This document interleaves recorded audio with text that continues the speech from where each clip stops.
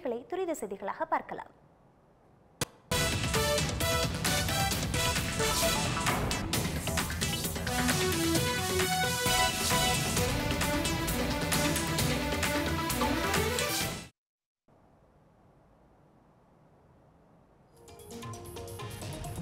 காங்கிரஸ் ஆட்சி அமைத்தால் பட்டியலினத்தவர்களுக்காக சிறப்பு பட்ஜெட் அறிவிக்கப்படும் என கர்நாடக மாநிலம் சித்ரதுர்கா இடத்தில் நடைபெற்ற தேர்தல் பிரச்சார கூட்டத்தில் பிரியங்கா காந்தி பிரச்சாரத்தில் தெரிவித்தார்.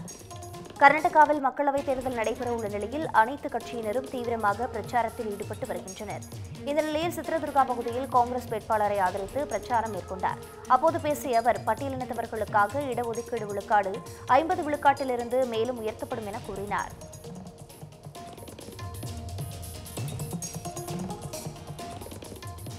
டெல்லி முதலமைச்சர் அரவிந்த் கெஜ்ரிவால் தெலுங்கானா முன்னாள் முதலமைச்சர் சந்திரசேகர ராவின் மகள் கவிதா உள்ளிட்டோரின் நீதிமன்ற காவலை மே ஏழாம் தேதி வரை நீட்டித்து டெல்லி சிறப்பு நீதிமன்றம் உத்தரவிட்டுள்ளது.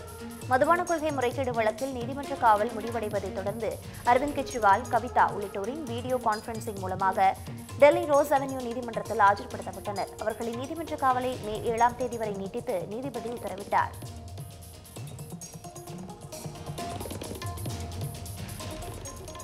மலையாள நடிகை அபர்ணா தாஸிற்கு கேரளாவில் திருமணம் நடந்தது. தமிழில் வெளியான டாடா பீட்ஸ் திரைப்படத்தில் நடித்த அசத்தியவர் தான் நடிகை அபர்ணா தாஸ். இவர் மலையாள திரையுலகில் மிகவும் பிரபலமானவர். இவருக்கும் மஞ்சுமெல் வாய்ஸ் திரைப்படத்தில் நடித்த நடிகர் தீபக்கிற்கும் திருமணம் நடைபெற்றது. இந்த நிலையில் திருமண சடங்குகள் தொடர்பான வீடியோக்கள் தற்போது வெளியாகியுள்ளது.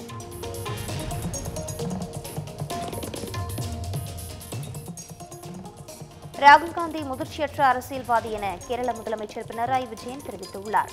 கண்ணூரில் செய்தியாளர்களிடம் பேசிய அவர் நாட்டில் பல முக்கிய அரசியல் திருப்பங்கள் நடைபெற்ற போது அவர் இங்கு இல்லை என்றும் தெரிவித்தார். ராகுல் காந்தி தீவிர அரசியல்வாதி இல்லை என்றும் அவர் கூறினார். கேரள முதலமைச்சர் பினராயி விஜயனை மத்திய புலனாய்வு அமைப்புகள் ஏன் விட்டு வைத்துள்ளது என ராகுல் காந்தி கேள்வி எழுப்பியது குறிப்பிடத்தக்கது.